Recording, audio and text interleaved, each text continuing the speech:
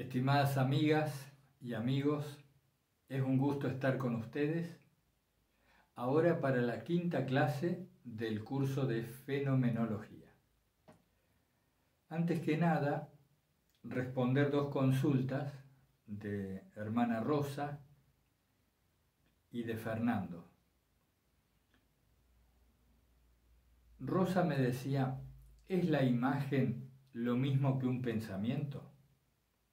Yo diría que sí. ¿Por qué le llamamos imagen aún cuando puedan ser estímulos provenientes de distintos sentidos? En un principio, históricamente, se tomaba a la imagen como una copia de lo percibido o como un reflejo de lo real. La, palabra imagen deriva del latín imago.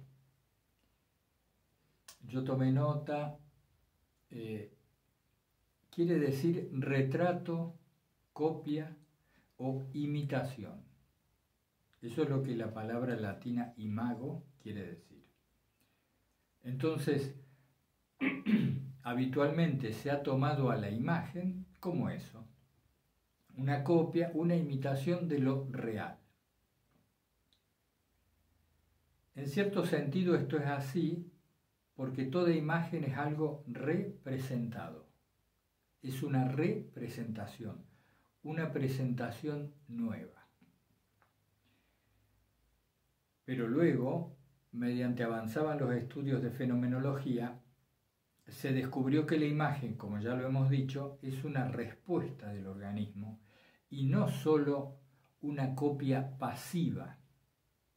No es un espejo que refleja aquello que es, sino que en todo caso es un espejo móvil e inteligente, que transforma lo que ha llegado a través de los sentidos en una representación nueva, conveniente, conveniente, tendenciosamente conveniente a los intereses del organismo que como ustedes ya saben, es la supervivencia en primer lugar y posteriormente la respuesta funcional a las distintas situaciones que se van produciendo, sin olvidar nunca, este mecanismo no olvida nunca, el propósito más lejano y el propósito más cercano que nuestra estructura psíquico-corporal está teniendo en un momento. Puede parecer complicado, pero no lo es. No nos dejemos asustar por allí con las palabras que parecen más difíciles de lo que son. Tratemos de ir poniendo ejemplos. La palabra pensamiento viene del latín pensare, pensare, que por ejemplo puede aludir a algo que cuelga, algo que pende, está pendiente. Pero resulta que cuando vamos a la raíz indoeuropea de la palabra pensare, ustedes saben que una gran parte de los idiomas hoy en uso en Europa y en otras partes del mundo deriva de un idioma que los lingüistas han llamado el indoeuropeo. Eh, que suele situarse en torno a la región central de Europa, más hacia el este, lo que hoy sería Bielorrusia, lo que antes era el imperio persa también, en torno a ese gran sector al norte de los Balcanes, ubican el idioma indoeuropeo, que después se transforma en el sánscrito y que termina influyendo en la península de la India, lo que hoy es la India. Parece ser que este idioma indoeuropeo es la madre o la raíz de los idiomas que hoy hablamos, previamente pasando por el latín y algunos le reconocen influencias también en el idioma griego, etc. Pero bueno, no es nuestra materia y no hay que hablar de lo que no se sabe nada más que alguna referencia, ¿verdad? Pero esta palabra pensare en el indoeuropeo, es decir, antes de que llegara al latín, significaba extender, colgar, la raíz pen. Y también tiene un sentido de pesar, pero pesar en la balanza, no de pesar como pena, ¿no? Entonces, ¿por qué hago esta, esta vuelta? Porque me ha parecido interesante considerar que la palabra pensamiento tiene que ver finalmente con extender. ¿Qué es extender? Es espacializar, presentar en la forma de espacio un estímulo que antes no era así. Los estímulos que recibe nuestro cuerpo, nuestro organismo, son electroquímicos, pero se nos presentan en una forma espacializada, extendida. Y esto facilita mucho las cosas. Parece que esto está en nuestra misma estructura orgánica. Entonces, Rosa, respondiendo o intentando responder tu consulta, ¿Imagen es lo mismo que pensamiento? Sí. Es otra forma de abordar el tema.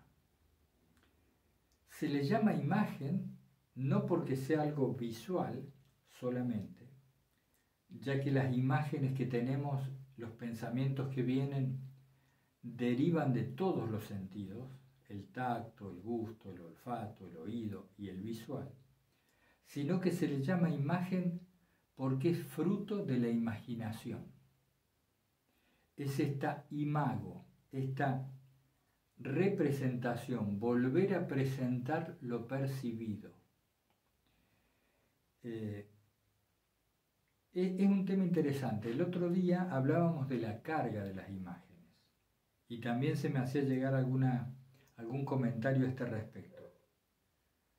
Imaginen toda imagen toda representación como un contenedor. A ese contenedor se le depositan cargas, como ya lo hablamos. Si el contenedor está muy lleno, es una imagen muy cargada. Por ejemplo, la imagen de, de mi esposa, de mi esposo, de un hijo, de un padre, de una madre, son imágenes contenedores muy grandes y llenas de contenidos. ¿Por qué? Porque hay mucha memoria grabada y asociada a esa imagen, a esa imagen en particular. Porque con mi madre tengo muchas memorias, muchos recuerdos positivos, es decir, con un saldo en la emoción, en el sentimiento positivo, y también imágenes negativas, imágenes dolorosas ese saldo resultante entre el placer y el dolor memorizado en torno a esa imagen de mi madre, ese saldo va a ser lo que finalmente yo sienta cuando recuerde a mi madre. Hay gente que recuerda a su madre y, y registra pesar, dolor, sufrimiento, tristeza, produce el llanto. Y otra gente que se ríe habla del humor de su madre, de cómo tenía ganas de vivir, y de aquella y de esta otra anécdota. Porque la carga que ha quedado de memoria en esa imagen contenedora arroja un saldo positivo. A ver si avanzamos con esto. Bien un poco más con esto de la espacialización para ver si lo entendemos. Lo abordamos ahora de otro modo. Eh, ustedes tienen o un ordenador personal o al menos un móvil, un celular. Vieron que en el ordenador, en la, computadora, como se dice por estas latitudes, se encuentra lo que se llama el sistema Windows es decir, el sistema operativo de la computadora, del ordenador, que me permite interactuar con ella. Y en el dispositivo móvil, en los teléfonos, está en general el sistema Android, o bueno, en los iPhones hay otro sistema. Pero Lo que importa acá es la noción de interfase. Es decir, entre un dispositivo, entre una máquina y yo, se ha situado una interfase, es decir, una presentación, un modo de relación que permita que esta estructura, este organismo, se relacione con ese otro eh, estructura, con esa otra máquina, digámoslo así. Porque ustedes saben que el lenguaje computacional está hecho en un sistema binario que habitualmente se, se grafica diciendo son todos ceros y unos. Los programadores que saben mucho dicen que el sistema de la máquina, el lenguaje de la máquina, son todos ceros y unos. No vale la pena meternos en qué es este lenguaje y demás. Pero se ha adaptado esto a nosotros, a las personas comunes, se nos ha adaptado este lenguaje básico entre la máquina y el hombre, presentándose en la forma de Windows o de Android. Es decir, cuando yo tomo con el mouse, con mi mano, un archivo y lo llevo a la papelera de reciclaje, es decir, borro el archivo, en realidad lo que se ha producido en la computadora, en el ordenador, es algún movimiento eléctrico de estímulo-respuesta que se traduce como ceros y unos es decir, estímulo o no estímulo. Un estímulo eléctrico o un no estímulo eléctrico. Eso es lo que en verdad está ocurriendo. Pero se nos presenta como un dibujito de la papelera de reciclaje, del basurero, y con otro dibujito que es una carpeta donde están los archivos. Yo tomo eso y lo llevo al basurero y ya está. Pero lo que ocurrió fue otra cosa. Una cosa es el modo en que se nos presenta la realidad y otro vendría a ser lo que es. Dejémoslo por ahora en suspenso. Eh, yo sé que esto es complicado y o puede parecer complicado. Estoy esforzándome en ver cómo eh, presentarlo del modo más pedagógico posible. Entonces, eh, a ver qué notas he tomado. Veamos en lo práctico a qué alude esto de la interfase. Cuando nosotros escuchamos un sonido, ¿qué es lo que se está produciendo realmente, por decirlo así? Hay ondas de aire, es decir, fijémonos con atención. El aire se mueve en una cierta forma, con cierta ondulación, que impacta en el sentido del oído. Esto es, una membrana, el tímpano, como ustedes saben, una delgada membrana de tejido, de tejido vivo, que se pone a vibrar como, como un tambor, como el cuero que, que produce el sonido de la percusión en el tambor, el tímpano se pone a vibrar de acuerdo a los golpes de aire que recibe. Es una maravilla. Y ese movimiento, movimiento del tímpano, se traduce en pequeñas correntadas eléctricas o electroquímicas que van a determinadas partes del cerebro y nosotros decimos, qué linda música, qué linda canción. Pero esa es la interfase.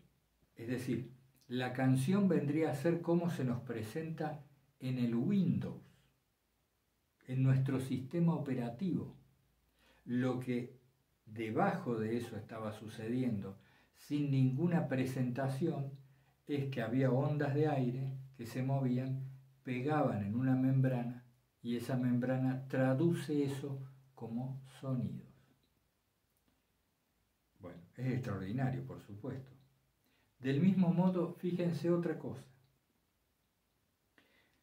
Ahora ustedes están escuchando unos sonidos a los cuales llamamos palabras, que surgen de una modulación determinada que esta persona está efectuando para ustedes.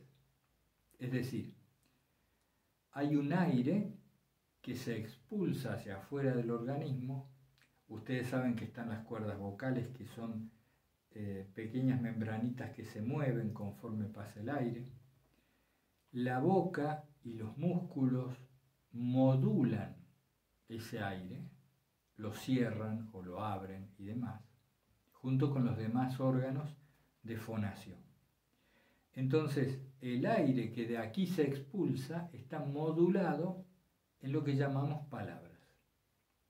Nuevamente, eso impacta en el oído, tímpano y demás, pero aquí hay algo más que lo que anteriormente describíamos. Se produce una doble traducción de ese movimiento del aire. Se producen las palabras, es decir, estos sonidos son decodificados, interpretados por el organismo en la forma de conceptos, imágenes, pensamientos. Se van separando unos sonidos de otros, eso es una palabra, y a cada sonido, a cada palabra, se le agrega un significado. A cada sonido, a cada palabra, se le agrega un significado. Significado proveniente de dónde?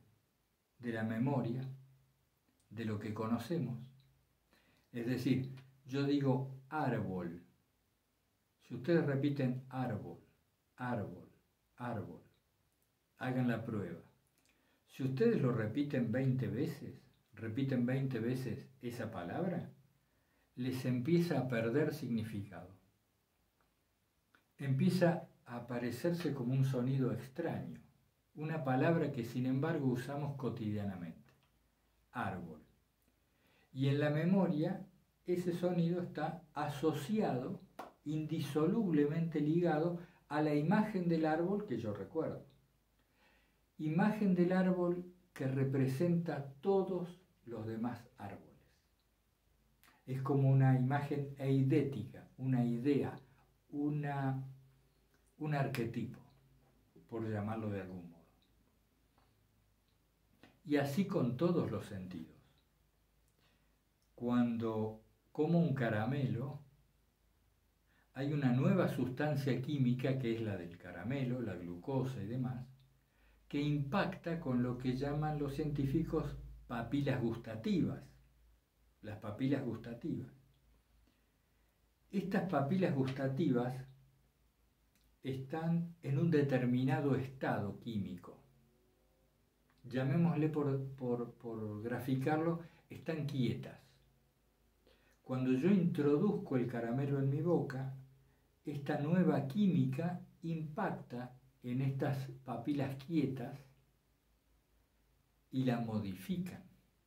Es decir, la las sustancias químicas que estaban ya en mi boca previamente se ven alteradas por esta irrupción del caramelo.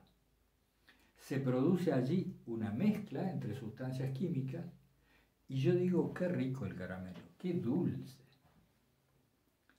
Pero esa es la traducción, esa es la interfase, el decir qué rico, qué dulce, etc. Y así con todos los sentidos, permítanme que, sea insistente con esto, porque tiene, tiene mucha utilidad después cuando vayamos tratando de deconstruir los mecanismos automáticos que nos hacen comportarnos como no queremos.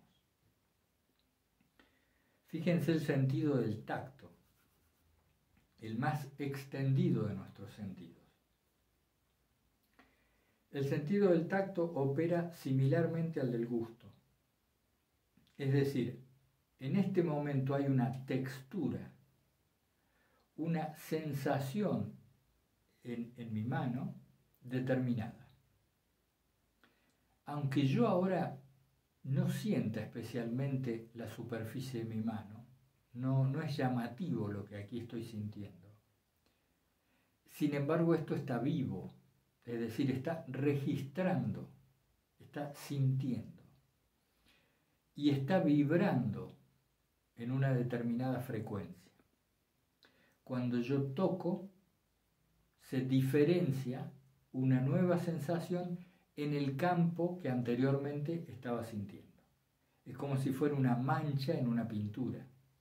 Aparece una sensación que se traduce como una caricia, como una aguja que me pincha, como un apretón, etc. Bueno, esto en todos los sentidos. A ver, no me quiero olvidar de nada de lo que había tomado nota. Bien, todas estas sensaciones, porque al final de cuentas, fíjense amigas y amigos, en cualquier sentido que estemos hablando, podemos decir sensación. Cuando cambia la frecuencia de la luz que tengo delante de mí, veo algo nuevo. Veo una sombra, veo una persona, veo una roca, veo un edificio, pero en el lenguaje básico son variaciones en el ingreso de la luz. Solamente eso. Pero se traduce como edificio, como un amigo que me saluda, como una flor, como una nube. Finalmente, en este tema que parece tan intrincado, las cosas se nos aparecen filtradas por la conformación, por la morfología neuroquímica del organismo. Esa es la primera traducción. Está el texto original, que sería el árbol, está una traducción que sería esto de los impulsos que han llegado a los sentidos, cómo se representan interiormente, cómo se traducen en una interfaz más adaptable, más funcional, y después se hace una nueva edición, otro traductor, que nos habla del significado de las cosas. Y finalmente, la edición revisada del texto, esa traducción final, que es de acuerdo a las cargas que para nosotros tienen las cosas, según nuestra memoria. Entonces, finalmente, interpreto aquel estímulo como un árbol que es agradable y que me sirve de sombra y al cual quiero acercarme. Ese árbol me agrada.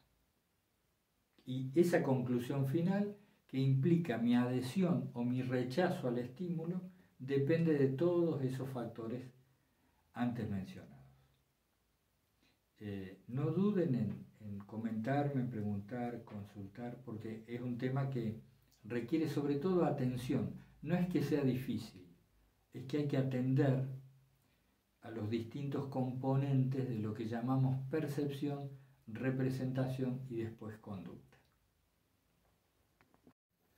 Otro tema eh, con el cual conversábamos con el hermano Fernando era esta cuestión de la bondad, de la maldad y de lo extraño que nos resultaba estar afirmando esta cuestión de que en definitiva todo lo hago por mí mismo, aun cuando parece que lo hago por los demás. Examinémoslo con algo más de detalle y después vayamos poco a poco sacando conclusiones, porque acuérdense que estamos haciendo epoyé, es decir, estamos dejando de lado estamos suspendiendo, en la medida que podemos, nuestro andamiaje de fe, nuestras creencias religiosas, estamos tratando de situarnos en una postura, por decir así, científica, lo más científica posible, poniéndonos como un observador lo más imparcial que podemos de los fenómenos que se nos van apareciendo y en el caso de este curso, los fenómenos que se van apareciendo en psique, en el psiquismo, también emparentado con lo que antiguamente le llamaban alma. No se olviden que eh, a raíz de la cultura griega y demás influencias que ha sufrido el cristianismo, el alma está muy emparentada con lo que hoy le llamamos el psiquismo o la mente y se diferencia del espíritu o el nous. Pero volvamos al tema, lo que conversábamos con Fernando. Él me decía, pero cuando tú haces el vídeo, cuando tú decides parar la grabación, o cuando tú organizas los temas que vas a exponer, allí sí estás pensando, ¿verdad? Bueno, en realidad parece que lo estoy pensando, me parece. Cuando lo observamos bien, detectamos que se está produciendo una serie de pesos y contrapesos, de inclinaciones de las cargas dominantes en el interior del psiquismo, que finalmente producen, detonan una respuesta. Entonces yo digo, voy a tocar estos temas, me parecen mejor, eh, habida cuenta de los vídeos anteriores, voy a decir esto, aquello, pero todo eso es un juego, un despliegue interior de cargas, de balanza, de comparación, de saldos, de balances. Entonces, en el abordaje fenomenológico que estamos haciendo, y esto lo insisto, en este abordaje y hasta el momento, no aparece todavía clara cuál es nuestra voluntad de pensar si es que nosotros pensamos los pensamientos. Si nos aferramos a lo empírico, no hay que tener temor de esto, ¿eh? porque cuesta. Aferrarse a lo empírico, es decir, a lo que compruebo por mí mismo. Hasta ahora, si miro bien, los pensamientos se van sucediendo. Son un permanente gerundio, ¿no? Un permanente ando o endo yendo, caminando, atravesando. El gerundio muestra este permanente movimiento. Porque ¿cómo viene a ser, cómo viene a suceder que los pensamientos ocurren, que se van relacionando y balanceando para finalmente arrojar un saldo conductual? ¿Cómo sucede esto? porque de toda acción tenemos sensación. De toda acción tenemos sensación. No hay forma que se haga algo y que esto no me brinde una sensación determinada. A la vez, no hay forma de que esto, todo esto, no se grabe en la memoria. Se graba todo. Todo queda archivado eh, y finalmente, no puedo evitar ser influido en mis decisiones posteriores por todas las anteriores. Es decir, mi biografía entera, hasta el minuto anterior, está pesando en la nueva acción. Está presionando en pos de algún tipo de resolución a los conflictos biográficos desde el minuto anterior a esta misma acción. Entonces, lo repetimos. De toda acción tengo sensación. No puedo no sentir lo que hago. Todo esto se me graba inmediatamente en la memoria y a continuación no puedo evitar ser influido por todo lo anterior más esto último. Pero cuando digo de toda acción tengo sensación, ¿qué entendemos por acción? Fíjense, todo movimiento que ocurra en el organismo. Porque de todo pensamiento tengo sensación. No hay forma de pensar sin que se asocie algún tipo de sensación a ese pensamiento. Es decir, no puedo imaginar nada, no puedo recordar nada sin sentirlo. Esto en general se desatiende en nuestra vida cotidiana. Pero todos sabemos, todos vivimos esto si atendemos un poco de que nos decimos, eh, ¿qué te ha pasado? Recién estabas contento y ahora se te ha avinagrado el semblante. Y nos dicen, bueno, no, vos sabés que me acordé de tal cosa. Me acordé de tal cosa y claro, esto produce una sensación. Igual que hablábamos días atrás con el limón si nos imaginamos estar mordiendo un limón, se produce una reacción en el cuerpo, es decir, sensación.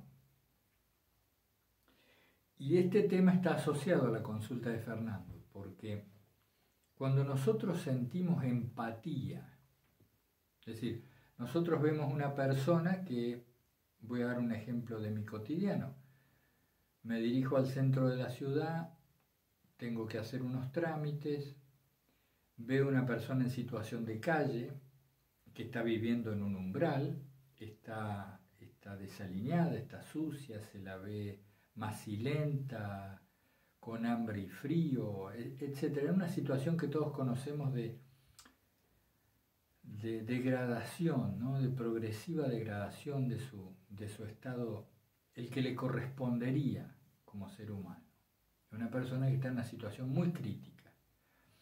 Entonces, ¿qué sucede? Lo primero que sucede es que percibo a esta persona. Al percibirla, se produce en mí una sensación. Represento a la persona, adquiere un significado en virtud de mi memoria y se produce una sensación. Es decir, me imagino cómo se siente esa persona con frío, con hambre, abandonada y sola.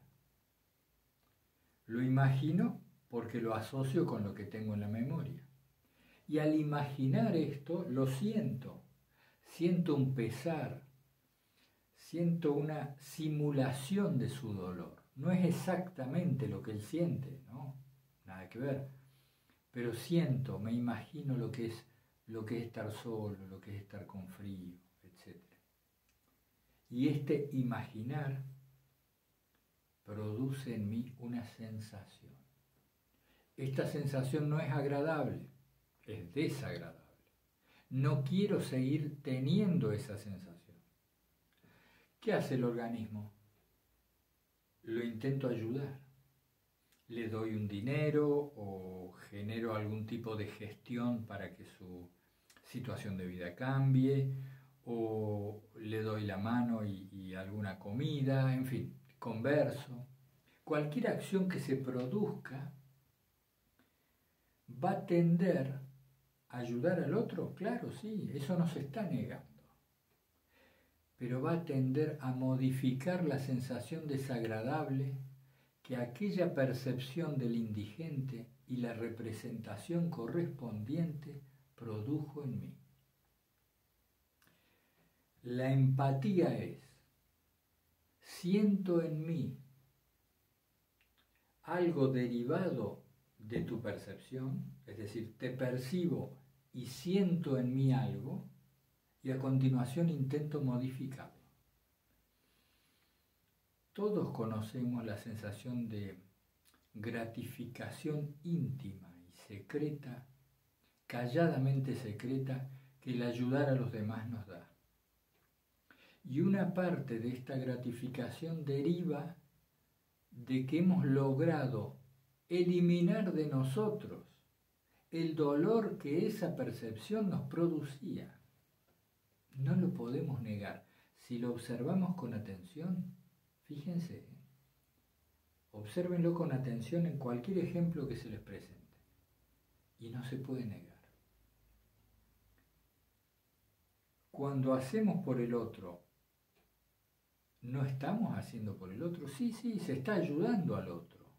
Pero estamos diciendo que a la base, en el origen de esa conducta, está el intento del organismo de modificar sensaciones desagradables en nosotros mismos. Entonces, cuando ayudo a mi hijo, ¿lo hago por mi hijo? Y puedo decir que sí, pero si voy al lenguaje básico de mi organismo, debo reconocer que lo ayudo porque al cambiar su situación cambia mi sensación. Y todas nuestras acciones parecieran estar fundadas en este lenguaje base. Es como si la sensación fuera aquello binario de lo que hablábamos de ceros y uno. Entonces se puede decir, no, bueno, pero esto me cuestiona la moral, entonces, ¿qué se... No, no, no, no se está diciendo nada de eso. Estamos observando cómo es el organismo en su funcionamiento.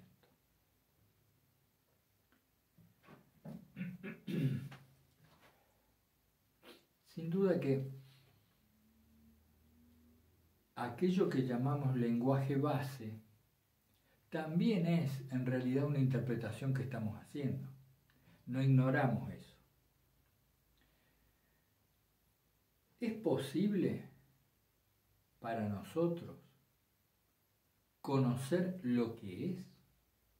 No estamos hablando ya si podemos conocer a Dios, el cual nos resulta más fácilmente aceptable, que es incognoscible, inefable, por su omnipresencia, su omnipotencia, por ser aquello que lo abarca todo, podemos aceptar sin tanta renuencia, sin tanta resistencia, que a Dios no lo podemos conocer realmente, que se nos presenta, que lo podemos sentir, podemos tener una vivencia íntima, pero no conocer. Pero podemos conocer las cosas, podemos conocer las personas. Esta es una discusión filosófica de siglos. ¿Se puede conocer la cosa en sí? ¿Lo que ocurre realmente o todo lo que decimos que ocurre es una interpretación que no podemos impedir? Interpretación no solo psicológica, sino antes psicofísica. Todo fenómeno se nos aparece como fenómeno como apariencia. Nunca veo la cosa, veo lo que se me presenta de la cosa. Y esto que se me presenta tiene que ver con los sentidos, con la organización que se produce de lo que el sentido me dijo, de las representaciones, de la memoria, de las cargas, de los propósitos, etc.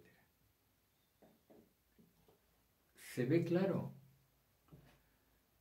No quisiera abundar en esto si, está claro, pero no lo sé porque si bien somos pocas personas las que estamos en este, en este tema, en este curso, también hay personas diferentes. Entonces díganme, si, si hace falta extendernos en esto, lo hacemos.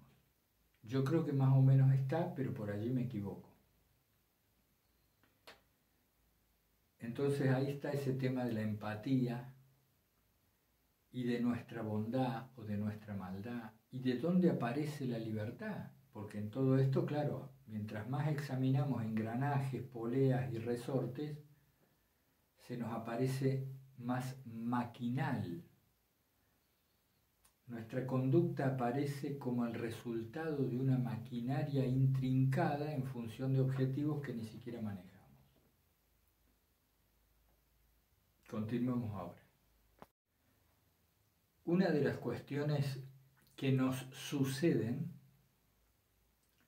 es que a medida que vamos viviendo los hechos y los acontecimientos de nuestra vida, se va sucediendo un relato, una descripción, una narración de todo esto que va ocurriendo.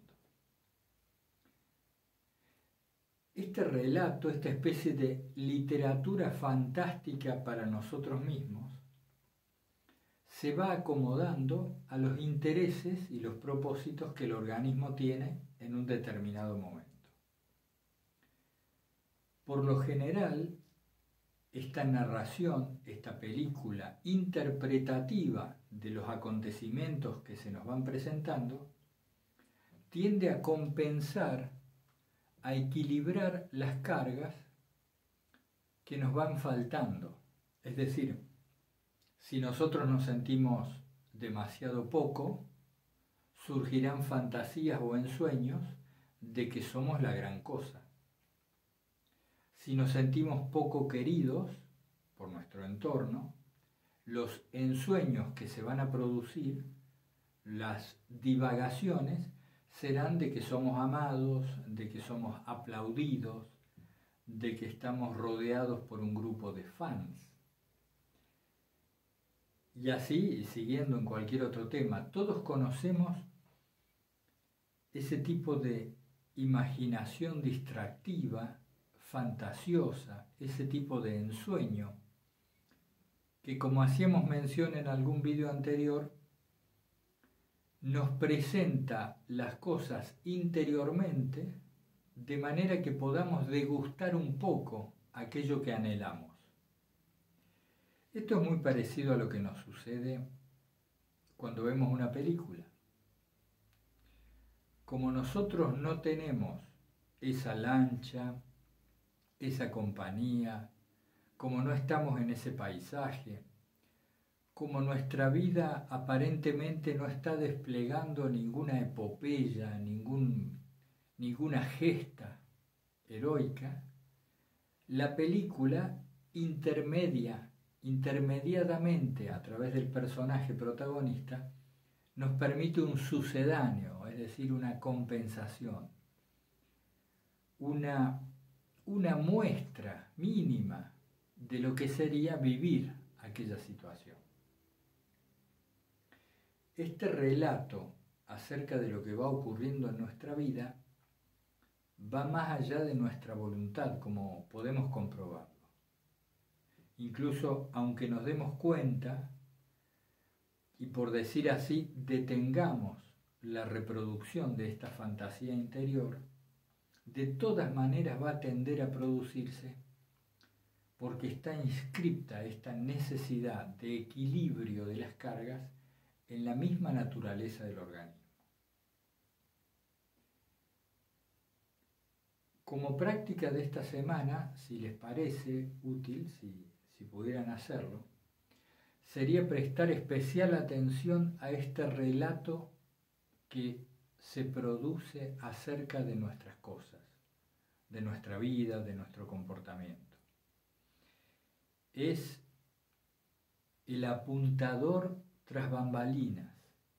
Ustedes saben que en el teatro suele usarse una persona que le va dictando al actor para evitar que éste incurra en un olvido y arruine eh, el momento de la obra. A nosotros también nos pasa, tenemos un apuntador constante, pero este apuntador tiene el poder de hacernos creer que la realidad es como ese relato como ese relato se sucede. Tiene mucho poder hasta el punto hipnótico, nos hipnotiza y nos dice, por ejemplo, que este dolor que siento deriva de lo que esa persona me está diciendo. El relato me dice, ese malestar que tienes deriva de lo que esa persona te dice o de lo que esa persona hace. Si quitamos el relato, si apartamos este adjunto, nosotros comprobamos que nuestro malestar deriva de nosotros mismos, es decir, de una reacción que se produce hacia aquello y no de aquello. Siempre es la reacción, nuestra reacción a lo que ocurre lo que nos brinda sensación. Acuérdense lo que hablábamos unos minutitos antes. Como de toda acción yo tengo una sensación, solo de eso puedo verme afectado de lo que se hace aquí, no de lo que otros hacen, no de lo que aparece, sino de lo que aquí ocurre, de lo que en este organismo ocurre en relación a aquello. Ustedes verán, este es el quinto vídeo más o menos organizado, aparte de los dos de presentación. Ustedes verán que estamos enfatizando siempre en algunos temas, volviendo atrás, avanzando un poco, volviendo atrás. Es importante para grabar cómo es este esquema y si pueden estudiar un poquito los gráficos, que gracias a la labor de Mariano vamos agregando en la página. Si pueden ustedes repasar estos vídeos, tomarlo con tranquilidad, porque si estos cinco vídeos iniciales están bien grabados en nosotros, convenimos, estamos de acuerdo, no hay ningún punto en discusión aún respecto de lo tratado, vamos a poder eh, realizar un buen avance eh, en las semanas sucesivas. Un buen avance que tienda a nuestra conducta y a descubrir cuál es nuestra verdadera libertad o cuál es nuestra posibilidad de libertad. Yo aquí tomé nota como para darles una pauta. Tomémoslo como hipótesis. Desplegar nuestra verdadera naturaleza sería lo libre. Ejercer nuestra libertad en principio sería desplegar nuestra verdadera naturaleza. ¿Cuál es nuestra verdadera naturaleza? ¿Qué sería desplegarla para así encontrar la libertad? Bueno, hacia eso vamos. Hacia eso estamos tendiendo.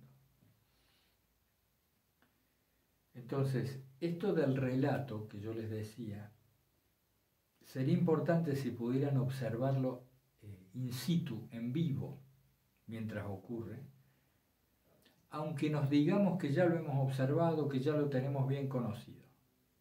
Hagamos el pequeño esfuerzo esta semana de ver cómo está este tema hoy en nosotros. Por ejemplo, cuando voy a trabajar, te diriges a una oficina, asumes tus tareas por 8 o 10 horas diarias probablemente existe un relato de fondo, un susurro, un, un murmullo de fondo que diga que esto lo estás haciendo para tal y cual cosa. En realidad no estás en una oficina haciendo una labor administrativa, sino que estás preparándote, juntando dinero para hacer tal otra cosa a futuro. Entonces, cuando vas a la oficina, en realidad estás haciendo lo que el relato te dice, no lo que fácticamente se está observando. Y este relato que se está sucediendo en nosotros, en la mente, ¿verdaderamente es elegido?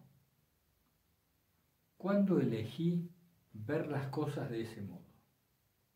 ¿O esto simplemente me está pasando, está ocurriendo?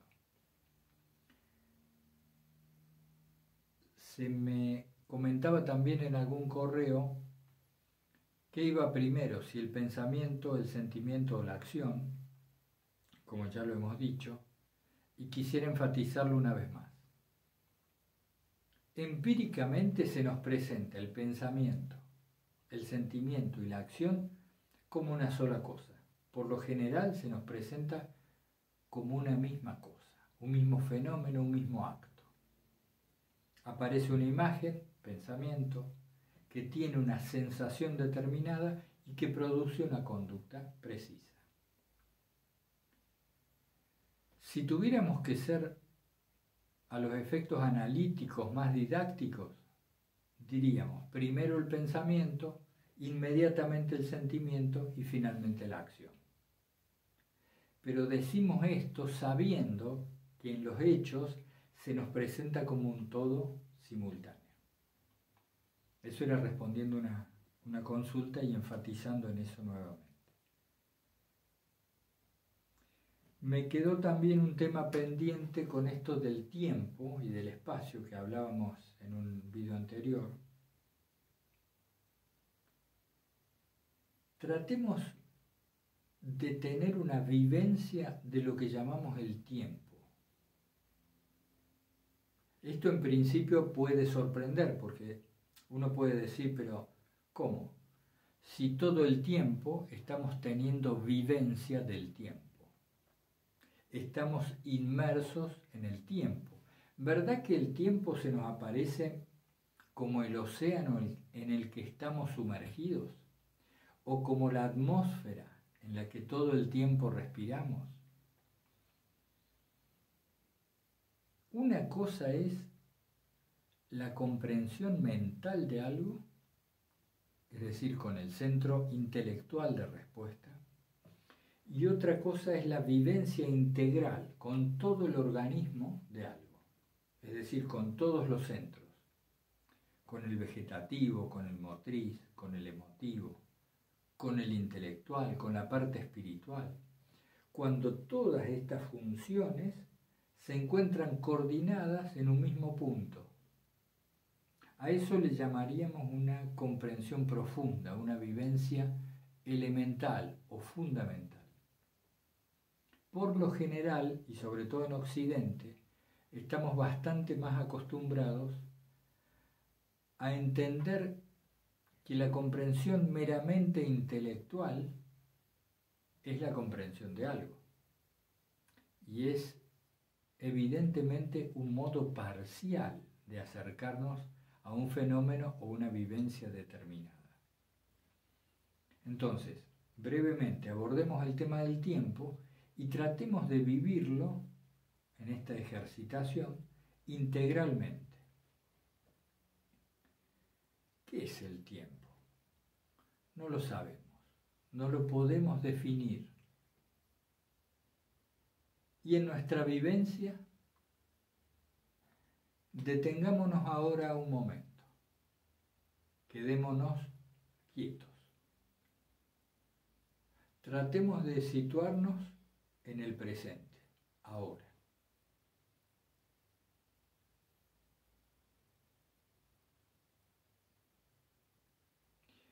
¿Cómo es que ha pasado un tiempo entre la última palabra que dije y esta que estoy diciendo ahora. Volvamos atrás, hermanos.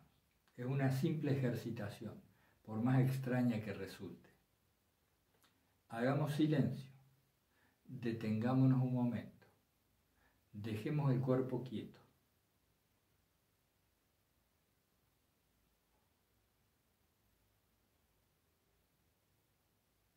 ¿Ha pasado el tiempo? Todos decimos que sí. Ha habido un momento de silencio y el tiempo ha transcurrido. Pero ¿cuál es nuestra vivencia real? Lo que podemos comprobar empíricamente, me corrijo con lo de real, lo que empíricamente podemos comprobar en principio, es que ha habido movimientos ¿Por qué? Pese a que dijimos que nos quedamos quietos, que tratamos de estar en el momento, decimos no, pero ha transcurrido un tiempo, 30 segundos, 15 segundos. Porque en ese ínterin ha habido movimientos. El movimiento pareciera dar material para la construcción del tiempo. Es decir, yo me quedé callado, pero sin embargo pestañeaba, había una respiración que se producía, estaba mirando la cámara seguramente con algún tipo de movimiento mínimo corporal y ustedes estaban haciendo lo mismo. Y sobre todo estaban transcurriendo pensamientos uno tras otro, uno tras otro, mientras permanecíamos quietos o en silencio. Es decir, el movimiento pareciera producir en nosotros la impresión del tiempo. Se producen movimientos y la mente los va organizando en sucesión, ordenadamente, como si fuera colgando ropa en una soga, este movimiento, este otro, este otro, y como los memoriza, como los va guardando en la memoria, se produce la sensación del tiempo, del transcurrir. Distinto es a decir existe el tiempo como una entidad, como si el tiempo fuera, como decíamos antes, un océano en el que estamos sumergidos o una atmósfera en la cual nos encontramos.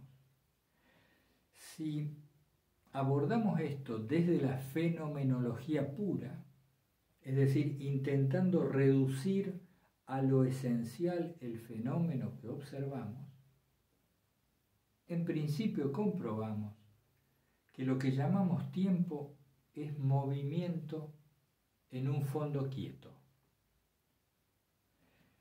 El pensamiento aparece en algo que no es pensamiento. Y después aparece otro pensamiento en un fondo que no es ese pensamiento mismo. Es decir, para que se dé el pensamiento A y después el pensamiento B y después el pensamiento C, es decir, para que se den tres formas diferentes. ¿Qué se necesita para advertir estas formas? Se necesita un fondo, un fondo quieto que no sea ni A, ni B, ni C. Ese fondo es conciencia. Y en esa conciencia, es decir, en ese darnos cuenta, aparece A, B y C. Lo mismo podemos decir eh, en el plano de las sensaciones. Está produciéndose una sensación integral en este cuerpo, en este organismo, y se van sucediendo formas de sensación diferentes. Un picor en el hombro, una presión en el codo, una temperatura en el cráneo, un dolor en el estómago. Pero todas esas sensaciones, para darse, para producirse, necesitan de una sensación fija, previa y estable para poder manifestarse. Si no, no me daría cuenta de ellas. No podría ser consciente de estas variaciones entre fondo y forma. Entonces esta cuestión del tiempo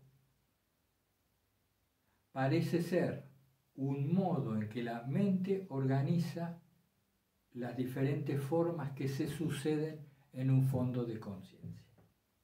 Admito que la, la, exposición de hoy ha sido un poco complicada. Yo insisto que es aparentemente complicada. Eh, porque no tenemos el hábito de este lenguaje, porque en lo cotidiano no hablamos en términos fenomenológicos, pero tenemos tiempo, vamos tranquilos, tenemos tiempo, digo, ¿no? a propósito de lo que hablábamos. Vamos tranquilos, siguiendo lo que podemos y gracias al intercambio con ustedes, no voy a avanzar más de hasta donde lleguemos. Somos poquitos en realidad los que seguimos este curso y puede ser muy interesante para todos. Bueno, les mando un abrazo fraterno y Dios mediante hasta la semana que viene.